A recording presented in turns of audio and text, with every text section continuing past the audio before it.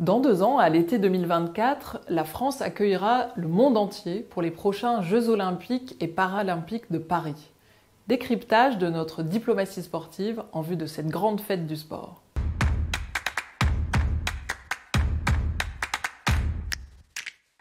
Qu'est-ce que la diplomatie sportive? En tant qu'organisatrice d'événements sportifs internationaux de haut niveau, la France s'est depuis 2013 dotée d'une diplomatie sportive, afin que le sport, contribue à faire rayonner notre pays à travers le monde. L'accueil de grands événements sportifs sur notre territoire, tels que la Coupe du Monde de rugby en 2023 ou les Jeux olympiques et paralympiques en 2024, est une formidable opportunité pour notre pays en termes d'influence, de promotion de nos valeurs, d'attractivité touristique et de compétitivité économique.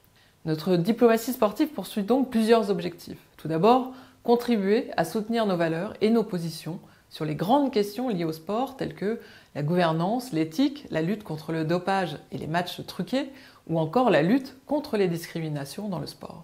Mais aussi promouvoir nos entreprises et le savoir-faire de la filière sport française sur les marchés étrangers. Ou encore encourager l'usage de la langue française lors des événements sportifs internationaux. Le ministère de l'Europe et des Affaires étrangères et nos ambassades portent cette ambition aux côtés du mouvement sportif, du ministère des Sports, des entreprises et de nos territoires.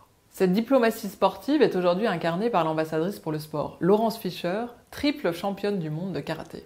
Comment la diplomatie française prépare les JO de 2024 Il y a cinq ans, la France a été officiellement désignée pays hôte des Jeux olympiques et paralympiques de Paris 2024. Depuis, tout notre réseau diplomatique se mobilise pour faire de cet événement un vecteur de rayonnement de la France à l'international. Pour vous permettre de prendre la mesure de ce qui nous attend, les Jeux de Paris 2024 représenteront pas moins de 15 000 athlètes venus du monde entier pour concourir, 50 000 volontaires mobilisés, 13 millions de billets en vente pour assister aux compétitions et plus de 4 milliards de téléspectateurs.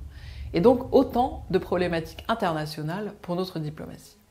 Nos ambassades à l'étranger ont été labellisées Terre de Jeux 2024 et elles sont donc chargées de mobiliser le plus grand nombre de Français de l'étranger, de francophones et de francophiles pour les Jeux olympiques de Paris. Alors en France, comme à l'étranger, suivez notre actualité sur France Diplomatie et nos réseaux sociaux pour être au plus près des Jeux olympiques de Paris 2024.